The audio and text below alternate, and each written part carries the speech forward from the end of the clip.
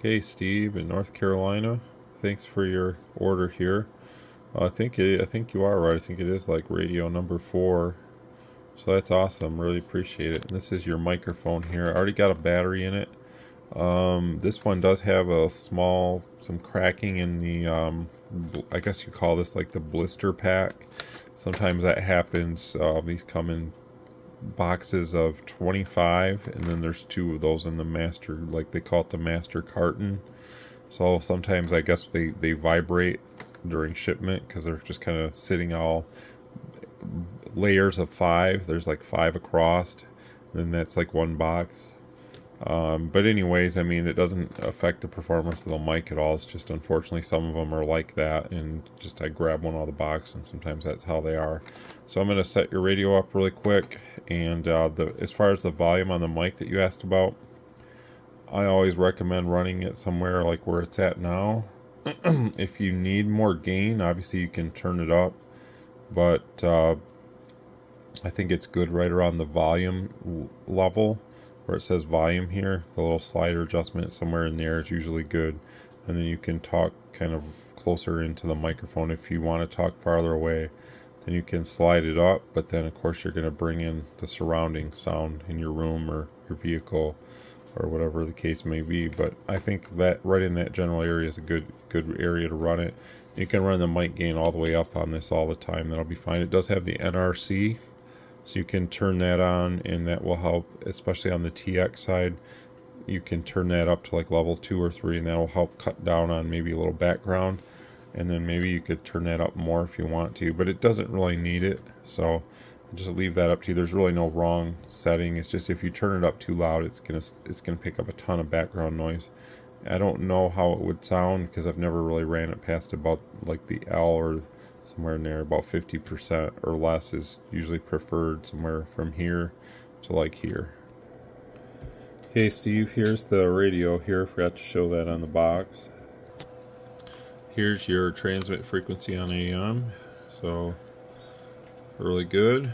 Find that these usually are about plus or minus 20 hertz so somewhere in that range is where they fall in. They're non-adjustable so there's nothing I can do with that range but you're going to find that there's no other legitimate CB radio that's a real CB radio not a 10 meter radio that someone's you know using as a CB an actual CB like this is um, there's nothing that's going to come close to the frequency stability of this radio. This thing is the best there ever has been for a CB radio and uh, put money on that because no one else has ever came that close. They're all going to drift a little bit, 30, 40 hertz, some, sometimes more, depending on what kind of CB radio you have. So that's why the whole unlocked clarifier thing became so popular because that was a way to compensate that a little bit, but it's not necessary on this radio. And uh, no one, to my knowledge, knows how to do anything like that yet. And even if they did, I wouldn't want it on mine. I think it's perfectly fine the way it is. So I got the radio at 4 watts on the dead key. On AM, this is uh, power. RF power's all the way up. I got the mic about between the O and the L on volume. So that's what you're going to do there on uh, RF power with the peak uh, peak power of the radio. So about 20, 20 to 25, somewhere in there is what the radio is going to do. So it, it, does a good amount of power.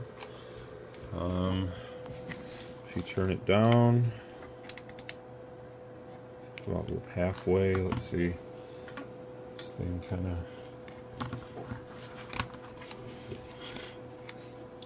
about halfway is about 2.5, somewhere like that, which is about right. If you don't need to run that, then you can run it lower. So like that, one, two, three, one, two, three, four, check, check. So it still does pretty good, you know, for what it is. Maybe a little bit more audio there. We'll go to FM. Actually, we'll skip FM. That's one watt all the way down, about four all the way up. So we'll go to sideband here. Key this back up. Turn this back up all the way. You said you were going to run the other thing that you got from me probably. So this would probably be, probably be able to just leave this all the way up here on sideband, assuming. So on sideband, this is what it's going to do. Uh, between 20 and 30 usually is where they come in. Usually, actually between 25 and 30 is usually where they come in. So, you know, to to get uh, a good amount out of what you got, this is probably perfect. I mean, I actually think in the manual it says about 25 is perfect, but I think it can take up to like 35 or something. So I think this radio will be a really good match for that.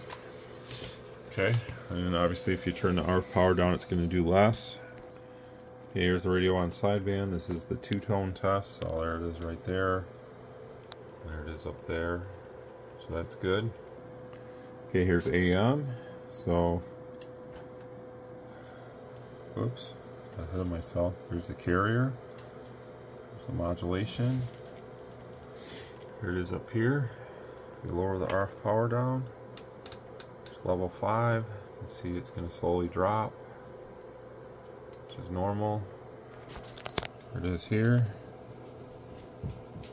So obviously we've dropped in power, so the carrier is off center a little bit You can bump that back up. Like that. Still looks good at level 5. At level 1 is the lowest power setting. So, bump that back up.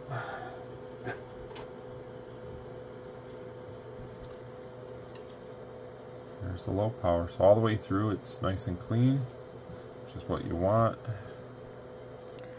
Okay, here's the TX frequency on sideband, so that's pretty much perfect. This is lower side with 1K tone, that's why it drops down to 204. So I know most people would be assuming it would be 205, but with the tone you're going lower side, so you drop 1 kilohertz. If I go 700 hertz or something, it's going to drop it that much less. So there's why it's at 204.3, because it's uh, 700 hertz. So there you have it. Okay, Steve, it's all set. I'm gonna get it ready to send to you. Again, I got the battery here in your mic, and uh, just a quick word of information on these. It's not recommended to sit here and take this screw and just torque it as hard as you can. You don't need to do that. Just simply just, um, you know, obviously when you tighten it, you can feel it start to tight. And just maybe one more turn and that's it. You know, it's not good for anything to tighten it to the absolute maximum. So that's just a word of advice on these. I actually updated my website to say that because um, I think people are just cranking them down too much. And there is a possibility this has SMD components. If you crank it down too much, they are actually in the process of replacing the screw with a shorter screw. But for now, I still have a little the normal screw in here. And if you over tighten it, there's a good possibility you could damage the circuit in there.